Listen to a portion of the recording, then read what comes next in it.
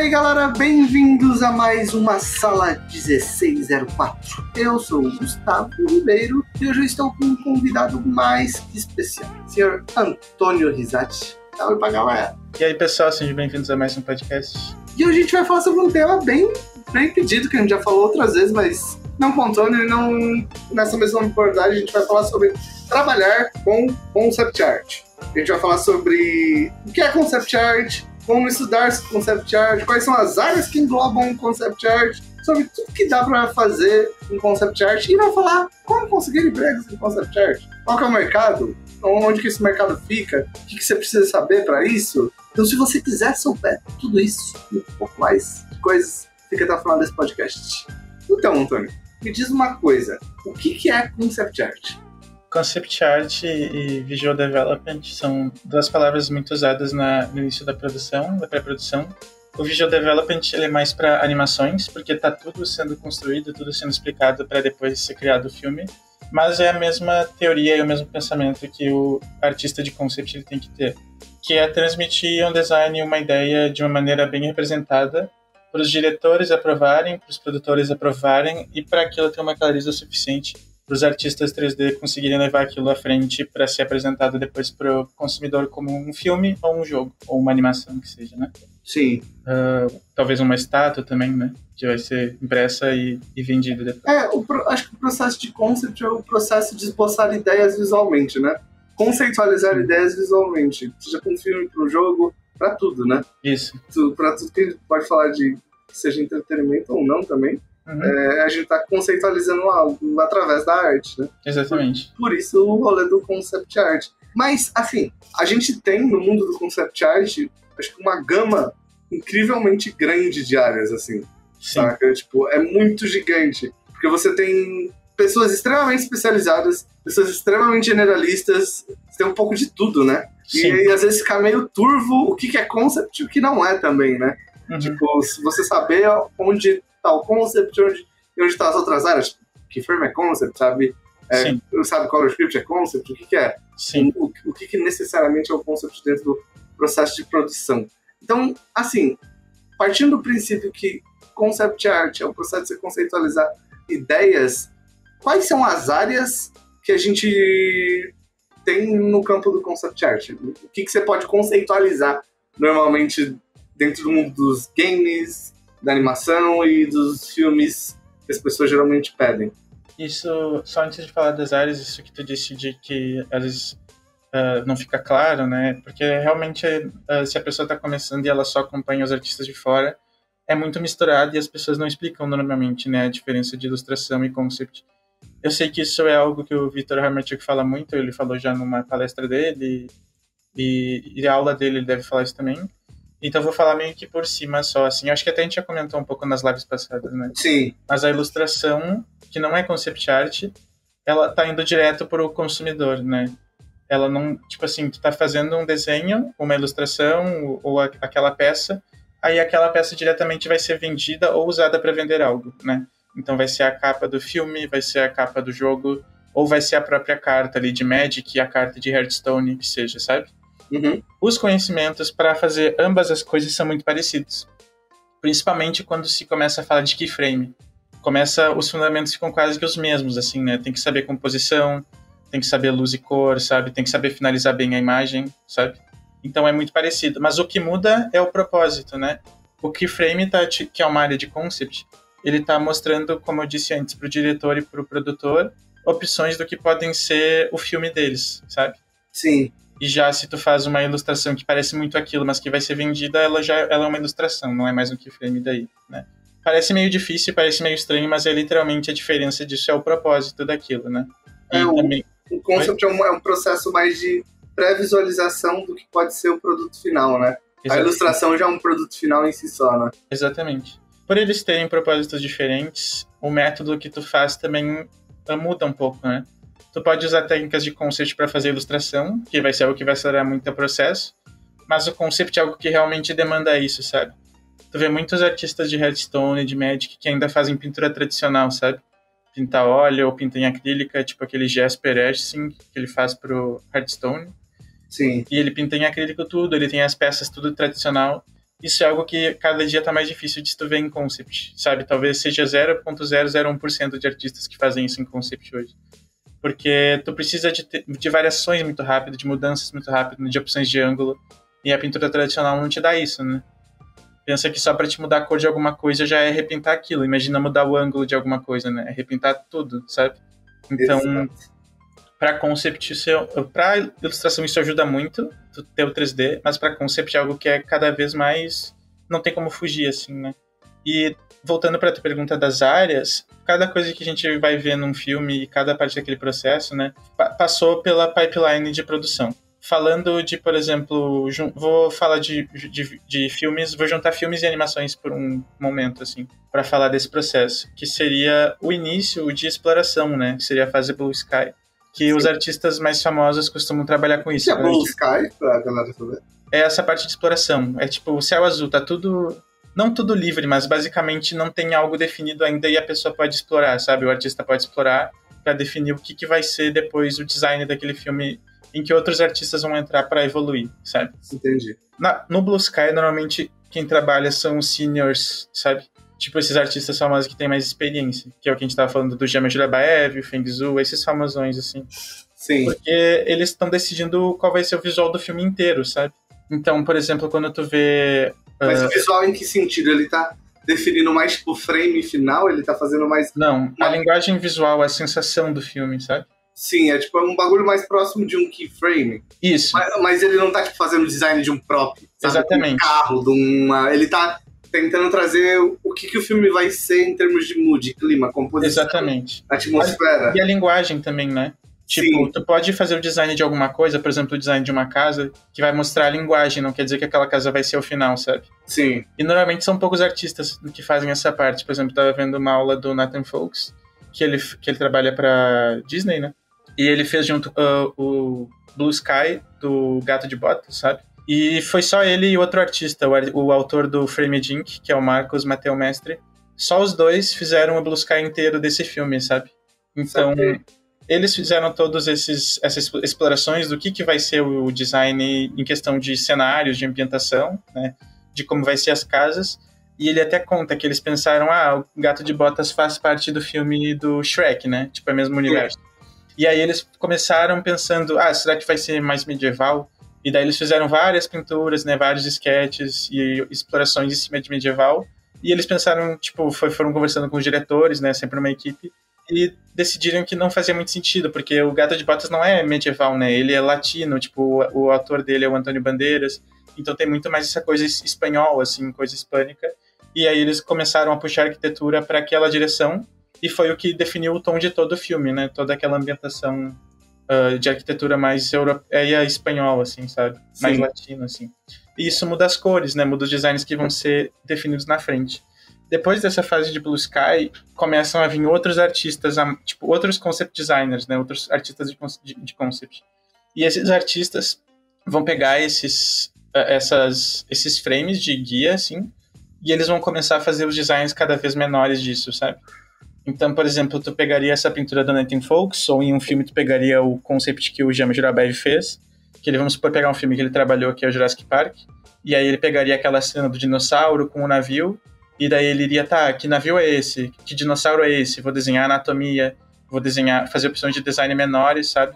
Para isso depois ser animado e para o navio existir. Se tem uma cena de dentro do navio, provavelmente o Jama não pensou isso, sabe? Porque ele estava fazendo muitas opções rápidas. Então, agora é a parte desse designer fazer as opções rápidas de dentro desse navio, entende? Entendi. Então, são muitos artistas de conceito em diversas etapas da produção, né? Depois que veio essa etapa de tu fazer os assets de dentro, de tu fazer as cenas de dentro, talvez ainda venha outros artistas para fazer coisas menores ainda, por exemplo, próprios mais específicos, tipo a maçaneta de uma porta, o controle de um laboratório, sabe, os botões de algum laboratório, a parte de algum veículo, um veículo por si só, assim, né, tipo o próprio... do soldado invernal. Oi? O braço do soldado invernal. Exatamente. Da Marvel. É o, pode ter um artista que faz só uma parada conceitual do personagem inteiro, né? E alguém, algum artista conceitual vai lá e refina aquilo, resolve aqui, tenta entender como aquilo vai funcionar mecanicamente falando, né? Perfeito. E depois disso, vai começar a vir os artistas 3D, mas ainda não encerrou a parte de um artista de concept.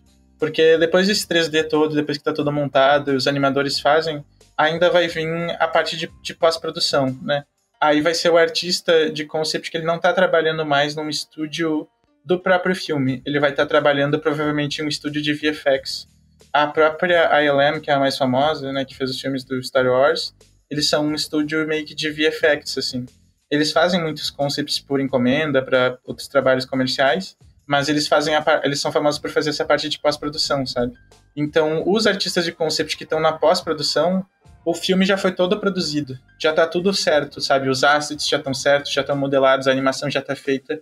O que eles vão fazer é pegar essas cenas prontas e fazer o keyframe final agora, sabe? Tipo, pegar aqueles assets que eles sabem o design final sabe qual vai ser o dinossauro final, o navio final, ou a nave final, ou o braço final, né, do soldado, e eles vão pintar em cima daquilo, uh, por exemplo, simulações de efeitos, sabe? Tipo, tanto a correção de cor, quanto, por exemplo, algum efeito especial, tipo assim, o poder ali do Doctor Strange, né? Uh, o meteoro do Jurassic Park, vamos dizer assim, né? Que eles têm que pintar aqueles efeitos que vão ser simulados depois em algum software de simulação de fogo, de fumaça, sabe?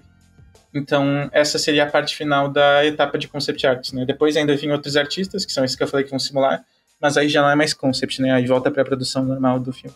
Doido, doido. Tem muitas, tem muitas coisas específicas em cada uma das áreas. Mas eu Sim. acho que uma primeira divisão que todo mundo vê é entre concept de cenário e concept de personagem. Sim. Sabe, tipo, a primeira, a primeira coisa que quando a galera pensa em concept eles entendem, acho que um pouco do que é concept, eles entendem essa divisão meio que binária, sabe? Uhum. É, personagem e cenário, né? E você acabou Sim. mostrando que, tipo, quanto mais sênior, mais você resolve tudo, né? Mais você faz, mais você faz tudo. Mas Sim. ainda existe essa divisão, né, dos artistas que, que fazem só um ou só outro, né? Sim, sim. Uh, o que eu, essa divisão que eu coloquei é a divisão de dentro da produção inteira, certo? Sim. Esses artistas que, ainda assim, existem muitos artistas sênior que são muito especializados, sabe? Por exemplo, o Ian McKegg, ele é um artista sênior, mas ele vai estar tá fazendo Blue Sky de personagem, sabe? Então, por exemplo, tu vai fazer um filme que tu chamou ele, ele vai estar tá lá no início, ele vai talvez pegar um pouco daquele mood daquelas linguagens e vai fazer sketches de Blue Sky de exploração de personagem, entende? Saquei. Então, dentro de todas essas etapas, vai ter artistas especializados. Então, quando chegar naquela parte de produção de asset, uh, por exemplo, de saber o cara que vai fazer o navio lá, né, a parte interior do navio. Vai ter um cara que vai fazer aquilo e vai, e vai ter outro artista simultâneo a ele que vai ser o que vai estar tá explorando mais a fundo os personagens, sabe? Que é justamente como tu disse, o braço do soldado. Isso vai ser outro artista mais especializado em personagem, entende? Sim. A não ser que eles tenham um artista realmente muito bom que consegue fazer os dois bem, sabe? Então, aí eles vão mandar tudo para aquele cara ali. Eu acho que o 3D e, tipo, cada vez mais ferramentas, eles permitem tu ser mais generalista. Porque tu tá fazendo as coisas mais rápido, mais fácil, sabe? Sim. Então tu ganha mais tempo de produção para fazer mais coisas diferentes. E tu também ganha mais tempo de estudar e se tornar bom em coisas diferentes, né? Sim. Claro que um cara que se especializou muito em veículos e tal, ele vai, ainda vai ter um valor, né? De ser aquele cara, tipo Vitaly Bulgarov, ele faz mais só personagens meio robôs, meio mechas, né? É. Ele é especializadão naquilo ele provavelmente não vai ser chamado no iníciozão de um filme, né? Que vai ser o Blue Sky. Mas ele vai ser chamado depois que aquela, que aquela linguagem está definida para fazer aquele design maravilhoso que só ele consegue, entende? Então essas especializações entram nisso. Se a gente continuar nessa separação que tu tinha mencionado ali dos personagens e cenários, ainda tem muito mais, né? Tipo, vai ter dentro do que seria personagem, vai ter as criaturas, que vai ser creature design. Dentro dos cenários vai ter a vai ter os props, né? Vai ter elementos que fazem parte, que compõem aquele cenário. Então, por exemplo, a arquitetura, os móveis, e vai ter os designs de veículo também que vão estar compondo toda essa cena, né? Então, tudo que tu for ver na cena ali vai ter alguma separação e foi feito por um artista que fez várias coisas ou diversos artistas separados que fizeram coisas, que fizeram aquilo e juntaram, sabe? Sim, sim. Uma coisa que eu acho que seria é, que é interessante da gente parar pra pensar sobre o processo de, de concept art é que muita gente, quando olha isso, fala: carai, velho, o cara que vai fazer um cenário ele tem que saber, tipo, desenho, pintura, design, sabe? Saber um monte de coisa, sabe? para uma pessoa que quer começar a trabalhar com isso, vamos tipo, voltar um pouco para trás, sabe? Tá. Eu não sei desenhar, Uhum. ok?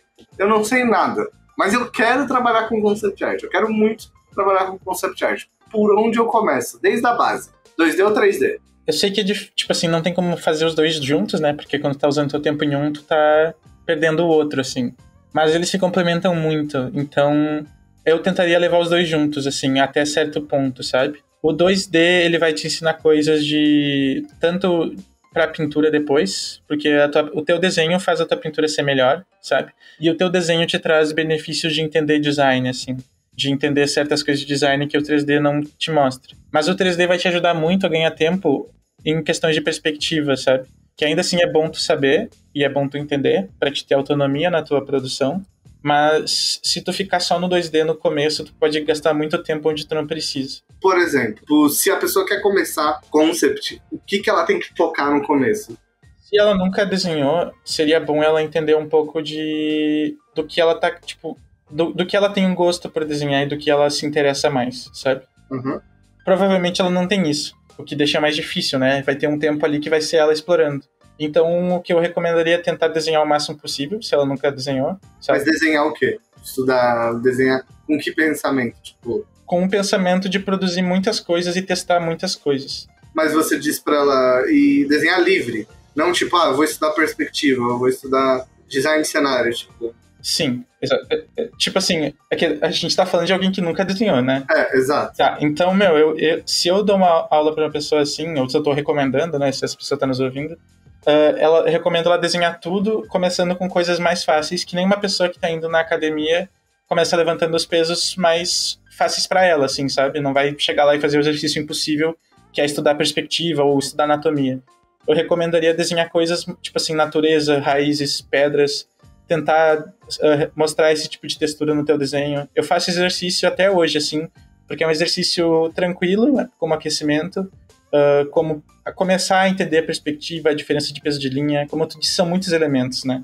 Então, se Exato. a pessoa chega e começa a querer pegar todos esses elementos de uma vez, é que nem aquela analogia do malabarismo, né? Que nem tu nunca fez um malabarista e tenta botar seis bolinhas no ar de uma vez, não vai dar certo, sabe? Exato. Então, começar a explorar com coisas simples, assim. Vou- hoje vou desenhar coisas que perdoam meus erros. E as coisas que perdoam teus erros é a natureza em questão de, tipo, raízes. Tu consegue fazer diversas formas, tu consegue explorar design e ainda assim parecer uma raiz, sabe? Agora, compara isso com desenhar um rosto humano, ou fazer um design de um veículo, ou fazer um design, sabe, de algo que a perspectiva tem que estar perfeitinha ali.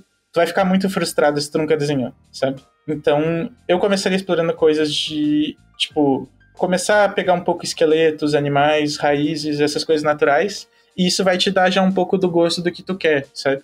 Quando tu fez aquelas árvores ali, provavelmente tu vai ter um sentimento de, nossa, eu gosto de desenhar coisas da natureza. E aí talvez tu vá mais para cenário, e talvez quando tu desenhou alguns esqueletos, tu começou a pegar alguns animais, talvez tu veja, nossa, eu gosto mais de criatura, então vou focar mais nisso por agora, entende? Sim. Isso já te dá um pouquinho dessa, dessa experiência que normalmente a pessoa que tá perdida demora pra ter, né? Muita gente começa o erro, e não é um erro, mas tipo, é natural, de querer ir direto pra personagem, né? Tipo assim, ah, vou pegar anatomia, vou, ou vou copiar retratos e coisas assim.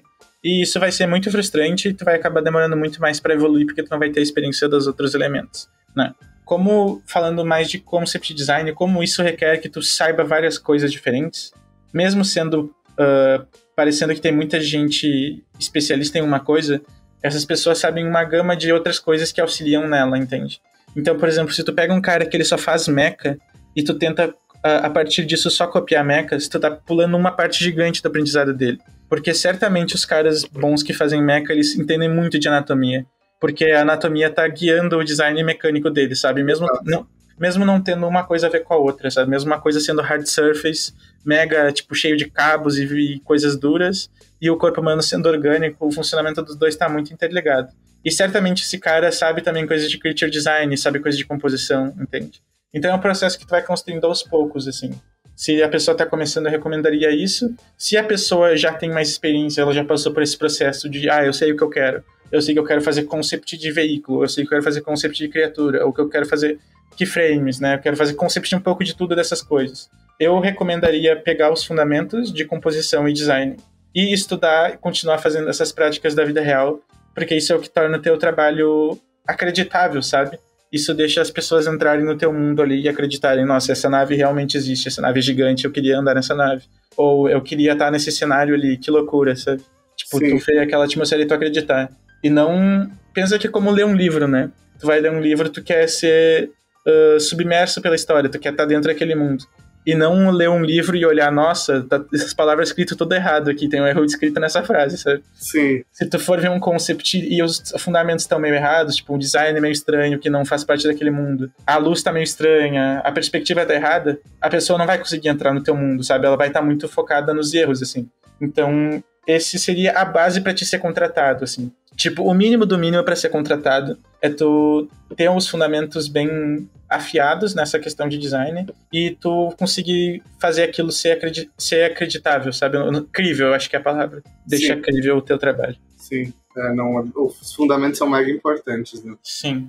E eu acho que tipo, o fundamento mais importante até antes da anatomia é aquilo que você falou, né? Perspectiva. Sim.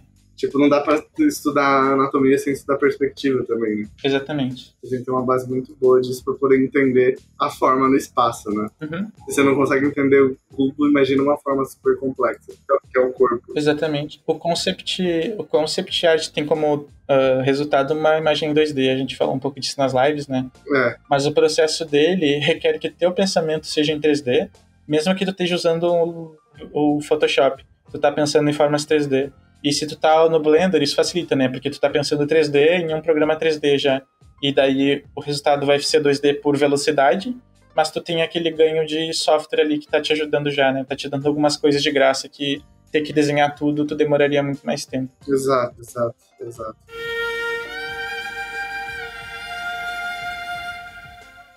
Agora que a gente falou sobre o que o cara precisa um pouco saber para começar a estudar concept, sabe? Eu acho que tem uma coisa que seria bem interessante a gente falar, que é o seguinte.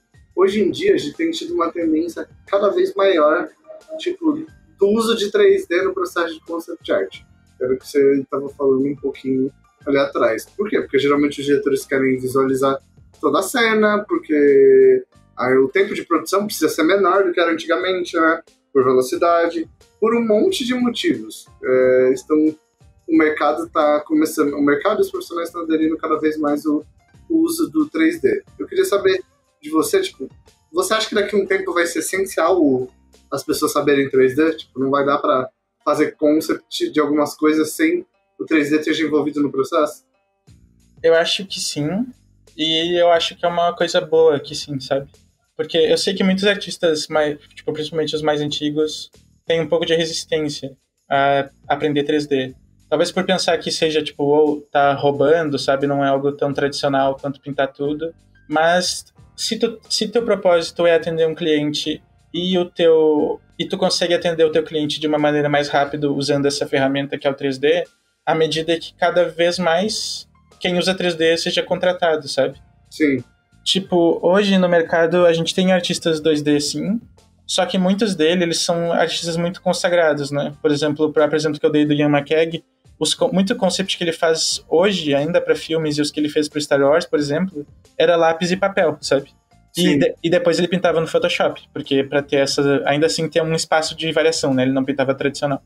Mas uh, e porque ele já é um nome famoso na indústria, entende? A mesma coisa o Feng Zhu são artistas famosos e muito bons, muito rápidos. Então eles conseguem competir com o 3D porque eles têm uma marca atrelada no nome deles, eles têm muitos projetos no currículo deles e eles têm experiência em ser rápidos, né? Em saber fazer algo bom de um jeito rápido. Quem está começando vai demorar muitos anos para aprender isso, sabe? E ser, sendo realista de uma maneira, o 3D te ajuda a cortar um pouco esses anos de experiência que tu levaria, sabe? Então, tu vai estar tá se tornando um profissional mais qualificado para o mercado, que consegue dar mais retorno para o teu cliente e de uma maneira mais rápida, assim. Basicamente é isso, sabe? Até o Feng Zhu, que foi um desses exemplos que eu te falei, se tu for ver os vídeos mais novos dele, ele já tá usando 3D no, no YouTube para finalizar as coisas, sabe? Ele tem um time do estúdio dele que faz os 3D para ele, para ele pintar em cima, entende? Sim. Porque não tem muito como fugir disso, assim. Pensa que não importa o quão bom um artista é,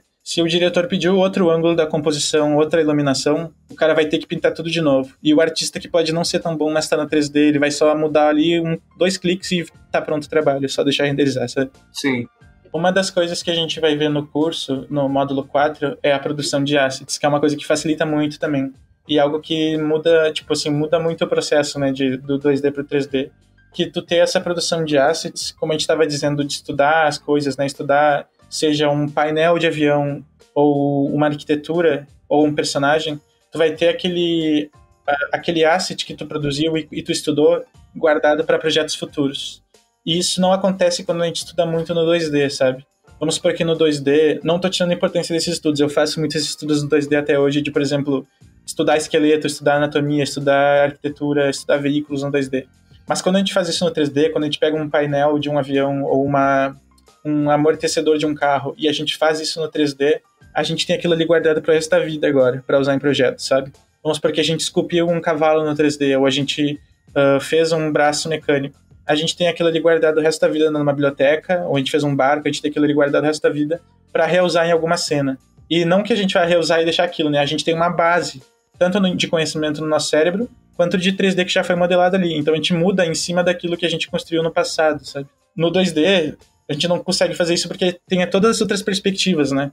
A gente não vai ter um desenho de um barco que a gente vai reusar em algum trabalho e mudar algumas coisas. É muito raro isso acontecer, assim. Então, mais um motivo de velocidade que a gente ganha, sabe? Sejam assets de pedra, sejam vegetação, sejam diversos veículos, seja arquiteturas que tu construiu, texturas que tu fez, sabe? Sim, exato. São nessas coisinhas pequenas que cada vez tu vai tendo mais vantagem, assim. O 3D vai te dando uma velocidade nesse sentido, né? Sim. Para poder iterar muito mais ideias do que você imaginaria que seria possível iterar, né? Exatamente. Acho que tem algumas perguntas que seriam interessantes de fazer. Tem algumas perguntas que a gente teve do, do Twitter. Que a primeira foi da Capivara Criativa, que ela falou: Quero trabalhar com character design, mas ando fazendo trabalhos design de, de cenário. Meu portfólio está um pouco parado, devo aproveitar colocar no meu portfólio? Acho que a pergunta seria: misturar coisas do portfólio de ArtStation atrapalha o personagem de cenário? Depende se tu tá fazendo para uma produção, provavelmente tu vai mostrar só os cenários, só os personagens, desculpa, se tu trabalha com, com character design de personagem. Mas se tu tem os dois e se tu apresenta, se tu usa os cenários para apresentar melhor o teu personagem no teu portfólio, isso vai, isso é algo bom, sabe? Isso vai trazer valor porque vai mostrar história, vai mostrar tipo assim, como que o teu personagem que tu fez um design bem pensado existe em uma história no design de um mundo bem pensado, sabe? isso vai dar valor para o teu portfólio, assim. E isso eu faço no meu portfólio também. Por exemplo, quando eu faço design de uma nave ou de, de alguma outra coisa, eu não só mostro o design daquilo num fundo preto ou num fundo cinza, sabe? Eu mostro de diversas uh, vistas para mostrar realmente o design daquilo, mas eu também faço os keyframes, que eu estou fazendo cenários, mesmo que sejam cenários um pouco mais simples, só para mostrar como que aquele veículo está inserido com outros personagens, sabe? Qual a escala dele com os personagens, com uma montanha, com uma névoa, sabe? Como ele fica mais cinemático se eu, eu pintar Sim. melhor e tratar melhor ele. Então eu uso isso para fazer a apresentação do meu design mais profissional, sabe? E mais atrativa para alguém que queira me contratar. Basicamente é isso. Então eu usaria desse jeito, assim, faz o design do teu personagem, faz aquilo bem pensado, bem inserido em um mundo, em uma cultura que existe, em que as pessoas vão achar interessantes. E isso vai vir com a prática, obviamente, então pratica muito isso. Sim. E, e quando tu chegar, por exemplo, gostei desse design, fez ele das vistas ali, usando 3D ou não, agora faz o cenário, tipo, o mundo que ele vive, né? Então vamos supor que é um guerreiro e ele tá atravessando um mercado medieval e daí tem pessoas ali numa fogueira fazendo um churrasco, tem gente vendendo alguma outra coisa e tem no fundo um castelo com pássaros, né? Sim. E aí tu produz isso e vai estar tá bem, vai tá bem uh, apresentado, sabe? Vai ter o teu personagem ali, talvez caminhando, vai mostrar alguma parte do design dele e ele vai estar tá inserindo no mundo que existe, né? Ou tu põe ele numa batalha, ele lutando contra algum monstro, sabe? Coisas assim. E aí tu misturou diversas coisas de concept que tu vai mostrar para alguém que pode contratar que tu sabe fazer tudo, mas ainda assim o foco daquele projeto foi o personagem, sabe? Certo. Ao contrário, ah, e mostra o processo disso, disso tudo, né? Exato. O que, o que não fazer é, uma pintura que é só um personagem, e daí só tem aquele post. Aí uma pintura que é só uma montanha, daí tem aquele post, sabe? Isso vai, isso vai deixar a pessoa meio confusa, assim, entende? Do que tu quer trabalhar, sabe? Quando tu faz o processo todo e tu junta os dois ali no último, tu mostrou. Fiz todo o processo do, de X, seja veículo ou do personagem, ou, de, ou da arquitetura, e eu inseri num cenário, mas o meu. E eu consigo fazer tudo. Mas o meu foco é o personagem ainda, entende? Esse seria o jeito que eu recomendaria para ti fazer. Entendo, entendo sim o Busy ele falou que a arte que a gente postou é muito bonita. Ele falou que tem uma dúvida sobre concept art de cenário barra background. O mercado realmente é mais carente dela do que concept de personagem? Existe prevalência do que precisa ser representado nesses projetos? Algo que deve estudar com mais dedicação? Arquitetura, natureza, etc? Sim. As pessoas, eu acho que se interessam mais personagem por personagem. Poucos artistas de personagem conseguem fazer grande parte do que vai ser os personagens do filme inteiro, sabe? Uhum. Se tu parar pra pensar, um filme tem muito mais cenários diferentes do que personagens, sabe? Vai ter muito mais cenas de iluminação, de coisas diferentes do que personagens variando. Mesmo um filme com muitos personagens, tipo Game of Thrones, né? Uma série. Os designs daquele personagem ali, a armadura do, dos Lannister, a, a roupa dos Stark, vai, se, vai ter sido feito e vai ter uma consistência pro resto do filme. Mas os cenários vão estar sempre mudando. Então isso é um dos fatores, né? que faz que os artistas de concept, tanto de os keyframes lá do início de Blue Sky, quanto de VFX, eles vão estar sendo mais requisitados que o de personagem. Igual, uh, eu recomendo estudar os dois, porque eles se complementam, né? E é legal ter um pouco disso no portfólio junto. Só, eu me esqueci do que, que ele perguntou depois. Na verdade, ele perguntou: tem algo que eu devo estudar com mais dedicação? Arquitetura, natureza? Sim. O que vai, voltando para aquele para aquela recomendação de deixar o teu projeto mais crível, né, de ter uma semelhança com a vida real, é estudar as culturas que já existem. Então, se teu foco é de ser de cenário, pegar e começar a estudar tanto a história do mundo, das civilizações, e estudar não só, tipo, não só de desenhando, mas lendo e entendendo essas civilizações, mas estudar daí, depois pintando, fazendo design e variações de design disso. Porque pensa que essas civilizações vamos supor, Egito, elas se desenvolveram por muitos anos, por mais de mil anos, né? E elas são resultado de anos de história, de milhares de anos de história. Tu não vai conseguir criar algo do zero para um projeto pessoal teu, sabe? Tipo, que, que, seja tão legal quanto isso. Sim. Não tô dizendo isso para desmotivar, nossa, eu não vou fazer mais meu projeto, sabe? Eu tô dizendo isso para te pegar essas civilizações que já existem e criar em cima delas. Ao invés de pensar, vou fazer uma cultura do zero e vai ser muito legal, as pessoas vão adorar dificilmente vai, vai, vai dar certo, sabe? Exato. Dificilmente tu vai conseguir ser tão do zero e talvez só fique meio sem. Talvez ou vai ficar muito sem graça ou vai ficar algo tão alienígena que ninguém vai, vai se importar, entende? Totalmente. Então, tipo, tu faz lá a tua parede de todas as cores possíveis com umas texturas que ninguém viu. Ninguém vai, vai achar só que é uma arte abstrata, assim, sabe?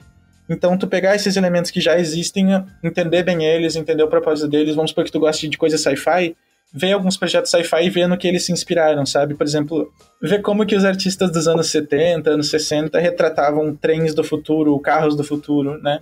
E ver o que eles estavam estudando, ver, por exemplo, brinquedos, essas coisas, ver como que as pessoas têm imaginado o futuro, ver como que as pessoas, artistas de hoje, imaginam o futuro, e tu vai ver que sempre tem algo daquela época dentro daquilo, né? Então, por exemplo, tu vai fazer uma, um prédio sci-fi, um veículo sci-fi, vai ter muitos elementos de coisas eletrônicas de hoje ainda, né? Tipo cabos, tubos, uh, cyberpunk. Então, entender esses estilos e criar a partir de coisas que já existem, sabe? Muitos projetos que tu vai trabalhar, principalmente os primeiros, tu vai ver que vai ter bem pouca coisa de novo que tu vai ter que fazer, sabe? Por exemplo, eu tava falando com o Gus num filme que eu tô trabalhando, que é sobre. Uh, não vou falar muito, mas é sobre basicamente um teste atômico que existia. E todo o design de prop que eu tô fazendo, eu não tô fazendo nada de novo em questão de design de prop. Eu tô remodelando coisas que existem. Então existe lá um bunker que os cientistas ficavam dentro. Eu vou pegar as referências e fotos daquele bunker, vou modelar, vou texturizar de uma maneira rápida, né, não para ser usado depois, mas vai ser usado para concept e daí com esse bunker que eu modelei, eu tô testando luzes, composições e mandando pro diretor, sabe? Fazendo reuniões, mostrando para eles, conversando como que conversando como que a câmera pode viajar através da vegetação, enxergar o bunker, como que os personagens vão estar ali dentro. Então eu estou fazendo basicamente coisas que existem, só que arranjando aquilo de um jeito novo, que fique cinemático, que fique de um jeito divertido para as pessoas verem, sabe? Que passe uma sensação. Se tu fosse lá e só batesse uma foto, não ia passar talvez essa sensação de misterioso, de perigoso, de estranho, né? Mas agora tu bota uma luz diferente, tu bota umas névoas, tu arranja aquilo de um jeito diferente, com mais ou menos vegetação, tu passa uma outra mensagem de história. Então, reforço, né? Repetir várias vezes isso, mas estudar as coisas que existem para deixar teu portfólio mais profissional, para deixar tu um artista melhor e designer melhor, e deixar isso de um jeito cinemático, assim. Então, seria essas duas coisas mais importantes que eu considero. Doido, doido. O Chories, não sei o nome certinho, é, ele perguntou: quais são os critérios que chamam atenção no em um portfólio de concept art? É um pouco disso que eu disse, de tu, de tu mostrar que tu sabe os fundamentos, de tu mostrar que tu entende a realidade e tu consegue criar algumas coisas em cima dela. E, a, e, a, e tipo, o, o, o que tu consegue fazer de entretenimento com isso, sabe? Porque não é só mostrar algo que existe em alguma luz especial ou algo assim, mas que história tu tá contando com esses elementos, sabe? Sim. Por exemplo, vamos pegar um. A gente pode pegar algum projeto grande e ver como que eles fizeram isso, sabe? Por exemplo, The Last of Us ou Tomb Raider, né? São coisas que existem, eles estão em cidades que existem, mas tem, mas tem, em, mas tem elementos de exploração ali, sabe? Tem elementos de, de entretenimento ali, seja mistério, seja tu entrar naquela caverna e tem uma arquitetura que já existe, mas ela foi colocada de um jeito diferente, tem uh, tochas, tem tesouros perdidos, entende? Então tu pega essa coisa que existe, mas não é só um realismo sem graça, né? Não é, como eu disse, não é só pegar e bater uma foto do lugar. É tu arranjar aquilo, tipo, num jogo dá para fazer isso muito bem, né? Pega aquelas coisas que já existem no The Last of Us, deu esse exemplo, e como, como que vai ter aqui, por exemplo, um inimigo, como que vai ter um personagem aqui, ou aquele zumbi que tá escondido num, lá embaixo do solo, sabe? Como que tu vai chegar até ele, como que vai ser essa escuridão, como que vai ser a, a, personagem que tá explorando esse teu mundo de zumbi, sabe? Então tu faz a partir disso, assim, tu pode ver muitos, todos esses projetos grandes, tu pode escolher o que tu quiser. Nenhum é uma cultura do zero, nenhum é uma estética do zero, sabe? Até Star Wars, que é o projeto mais, tipo, mais viajado, entre aspas, assim, né? Que tem muitos planetas, tem muitos veículos diferentes, tem muitos alienígenas. Até Star Wars ele tem uma base que é a Segunda Guerra Mundial, né? Star Wars é a Segunda Guerra Mundial no espaço, basicamente. Porque tu tem os designs inspirados no nazismo, que é o do Darth Vader, dos Stormtroopers, os, os, o Império é baseado no nazismo. Tu tem os veículos sendo coisas grandes e feias e militares, feias, mas de um jeito bonito ainda, tipo, eles são robustos. Eu falei isso no meu vídeo que eu fiz pro Workbox da Revo, que eu faço uma nave Star Wars do zero, assim, o design dela. E essa linguagem visual tu tem que mostrar que tu entende, sabe? Então, se tu vai fazer um redesign de Tomb Raider, vai ser uma linguagem diferente do que para um outro jogo de exploração. Se tu Sim. vai fazer o redesign de The Last of Us, vai ser uma linguagem diferente de The Walking Dead. Os dois é a mesma coisa, zumbis, né, no mundo e tu tentando sobreviver. Mas a linguagem é diferente e tem que mostrar que tu entende isso. Com coisas da vida real. Ainda assim é a cidade, ainda assim é a natureza, Sim. ainda assim são personagens, entende? Exato. Uma coisa, uma unindo, pegando essa pergunta agora, uhum. indo para duas perguntas que eu acho que estão, elas podem se conectar. Uma dúvida da Jú, Júlia Chiarelli, eu acho que é assim, Chiarelli. É, minha dúvida é se as empresas têm um padrão para trabalhar com concept art, ou se cada empresa é diferente, ou se isso depende do artista. E a May pergunta: é bom direcionar sua arte para uma empresa específica? Isso ajuda mesmo? Tá, vamos uma por vez. A primeira o que muda, o que mais, o que mais faz diferença é o país, assim, da empresa que tu vai trabalhar. Mas se a gente pegar as maiores empresas, os maiores os países que têm isso como um polo, assim, né, como uma Sim. indústria já tradicional, que seria Estados Unidos, uh, o Reino Unido ali, Londres, Polônia, né, tem a CD Projekt e alguns na Austrália. E deve tem Inglaterra ter... também. Oi? Em Inglaterra tem bastante empresas. Isso, em Londres, em Londres. Em Londres é, é o foco ali, né? Uhum. Esses uh, esses estúdios e se tu for trabalhar para freelance em algum desses estúdios, o normal é o pagamento ser por dia. Então, por que, que é por dia? Porque, tipo assim, parece meio estranho, né? Mas como tu tá trabalhando com design e tu vai trabalhar com conversa e tempo de explorar esses designs, não faz sentido, tipo assim, imagina se tu fosse, ah, sei lá, 10 mil dólares para te fazer esse personagem aqui. Aí tu vai ficar um ano fazendo variação, exploração pros caras só pra ganhar 10 mil dólares, entende? Um ano por isso. Aí tu, tipo assim, não vale a pena. Imagina um artista que mora lá e gasta um monte com Sim. aluguel, né? Então vai ter um valor por dia que vai ser o teu horário de trabalho. Assim, oito horas tu ganha X. Tipo, a média de um artista profissional, os caras muito bons, que os que eu disse que do Blue Sky, é mil dólares para cima por dia, né? E aí eles, eles vão pulando de projeto em projeto, sabe? Faz Blue Sky de filme tal, aí acabou, começa a entrar aqueles outros artistas que eu te falei, esses artistas saem, e eles vão pro próximo projeto, sabe? Sim. Um projeto menor, que de entrada, tu vai ganhar provavelmente 50, 60 dólares por dia, sabe? Um projeto em que tu tá meio que júnior, assim. E tu vai subindo a partir disso, né? Tem um vídeo do Art Department Podcast, que é do Jean Urchel e do Emmanuel Shu, e eles falam bastante dessa diferença entre países, porque como os países têm custos de vida diferentes, eles vão te pagar baseado nisso, sabe? E qual era a outra coisa que ela disse? Ó, eu acho que tem a pergunta dela tá mais ligada em relação à metodologia. Tipo, ah, não era de salário? É, eu, eu acho que é, mas aí você já acabou respondendo duas em uma. Que é Tá. tipo padrão, sabe? Se tem. é, minha dúvida é se as empresas têm uma forma padrão para trabalhar com concept art, sabe? Tipo, de processo. Ou Sim. se cada empresa é diferente. Ou se isso depende do artista, sabe? Se o Sim. artista leva o processo. Isso depende muito do diretor de arte do, e do produtor. Do diretor do filme, se for um filme, do diretor de arte, se for um jogo. Porque tem diretores e produtores que gostam de ver os sketches desde o início. Tem diretor e produtor que não entende os sketches, sabe? Ele quer ver o- a- várias opções finalizadas hein? e só aquilo, não quer ver mais nada, sabe? E então depende um pouco disso. O que que é o mais seguro de se fazer, que é mais universal? É tu ter no teu portfólio o processo que mostra teus sketches, teu, tua linha de pensamento, talvez as tuas referências, e tu ter aquilo bem finalizado e bem apresentado Aham. como, como ângulos de design e como keyframes. Porque tu mostrou que tu fez o universal, assim, né? Tu vai conseguir trabalhar com qualquer diretor. Tu sabe desenhar, tu sabe pintar, tu sabe modelar e renderizar, apresentar bem aquilo. E tu sabe design, tu sabe ah, criar uma linguagem de design coesa, sabe? E Sim, bonita e divertida, vamos supor, né? saquei. Então seria isso. E a, a outra pergunta é: é bom tentar direcionar sua arte para uma empresa específica? Isso ajuda mesmo? Depende e tem empresas que fazem muitos jogos diferentes, né?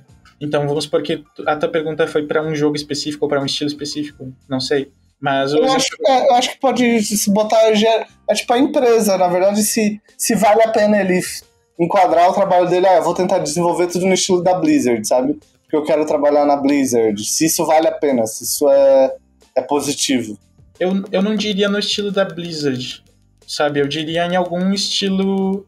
Como é que. É que assim, eu não entendo o esti- Quando ela diz estilo da Blizzard, é tipo StarCraft ou é Hearthstone? Mas vamos supor que ela decidiu por, por WoW e, e Hearthstone, que é o mais famoso da Blizzard, né? Vamos supor isso. O ideal é que tu mostre que tu entende esse estilo, mas que tu crie coisas novas em cima. Que é justamente o que eu tava fazendo no vídeo do Workbox. Eu não peguei a- e fiz uma fanart de Hearthstone, sabe? Peguei uma carta que existe e, e refiz ela com meus personagens e tal. Isso seria um portfólio de ilustração, que é o que é o que é Hearthstone, né? São várias cartas e várias ilustrações. Mas eu pegaria, por exemplo, em se tu vai fazer para World of Warcraft ou para ou para como é que é o outro jogo? Watch, Overwatch. Overwatch. Pega e cria um personagem novo, só que ainda na linguagem de Overwatch.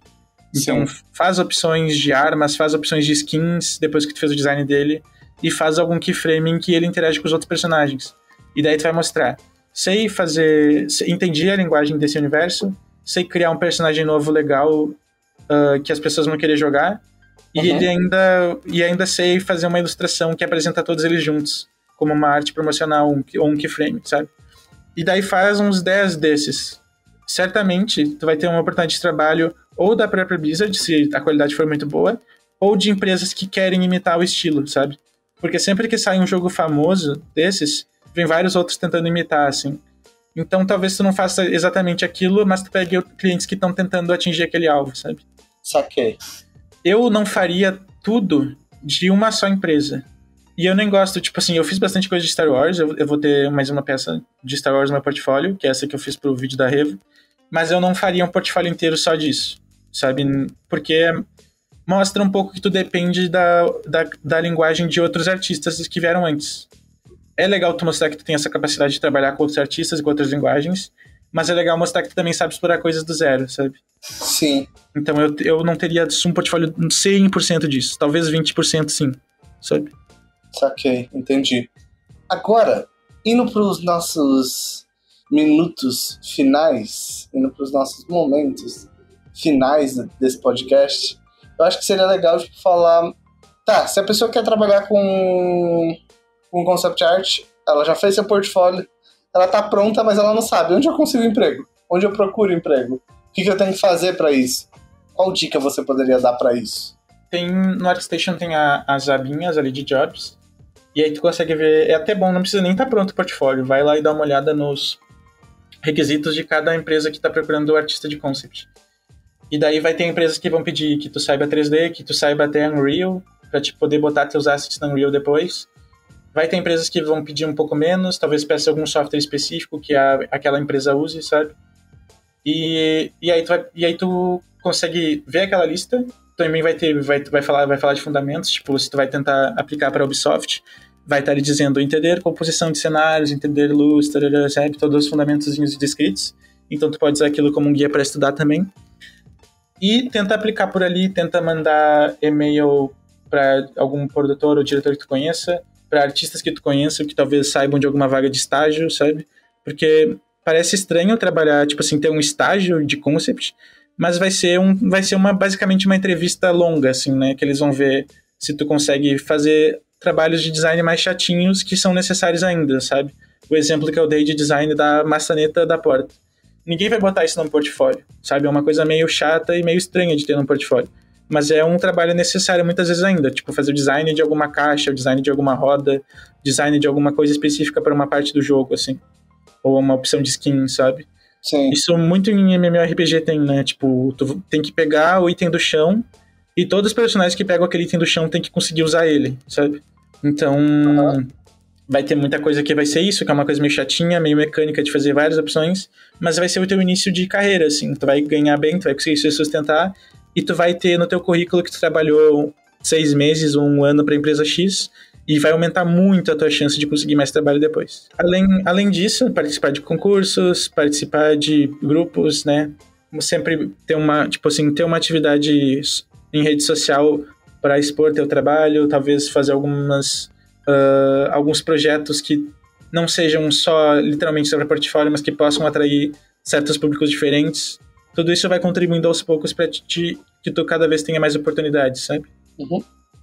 Eu acho que hoje a gente deu para cobrir uma grande. Não deu para falar de tudo, porque tem muita coisa para falar Sim. sobre concept art, mas acho que hoje a gente conseguiu cobrir uma grande gama do mundo do concept art e, todas as suas vertentes, um pouco de como você estuda, como você desenvolve, um pouco de onde você focar e como você conseguir trabalhos. Eu acho que dá pra gente falar mais depois sobre o processo, talvez fazer um outro episódio, se vocês quiserem, só sobre as coisas que você precisa saber a fundo, sabe, para trabalhar com concept. E a gente pode aprofundar um pouco mais isso no próximo episódio sabe? Mas eu queria agradecer agora ao Antônio por essa participação incrível nesse episódio, porque foi muito da hora, e queria agradecer todos vocês que estão presentes nesse podcast, galera. Então, se você curtiu esse podcast, deixa o like no vídeo, compartilha ele aí no Stories, compartilha no Instagram, no Twitter, onde você quiser. Se quiser um episódio 2, deixa um comentário aí no, no YouTube. E é isso, gente. Antônio, agora você está aí para se despedir da galera, se despeça da galera e vamos encerrar esse lindo podcast. Muito obrigado a todo mundo que assistiu, muito obrigado ao Gus e a Gabi. Se vocês tiverem qualquer pergunta sobre o curso, qualquer pergunta sobre o portfólio de vocês, como estudar, mandem para mim no Instagram, no Instagram da Revo. E vamos marcar esse próximo episódio também para a gente continuar aprofundando nesses assuntos. E isso é uma coisa importante que você falou, calma aí. Hum. Você tem um curso na escola. Sim. É que a gente não fez um jabá do curso. Qual que é o curso que você dá na escola? É curso de 3D para concept art e ilustração. Aí. Então, se, se, vocês querem saber como o 3D pode ajudar vocês, a gente até fez umas lives, três dias de lives, é, semana passada, semana retrasada, né? Uhum. É, então lá você vai poder ver um pouquinho sobre isso. E se você quiser conhecer o curso do Antônio, a gente vai deixar na descrição do vídeo, tá? Na descrição e no primeiro comentário do vídeo para vocês conhecerem mais esse curso de 3D para concept art e ilustração. É brabo, viu? Eu vou fazer também. E você? É isso, né? Beleza, é isso. É isso, gente. Até a próxima sala 1604. Espero que vocês estejam assistindo Big Brother Brasil aí com parcimônia, tá bom? e é isso. Espero que até quinta-feira as coisas não tenham piorado. É isso, gente. Até mais. Boa semana pra vocês. Para de assistir Big Brother, vamos estudar aí, vai? é isso, gente. Falou. Abraço, até.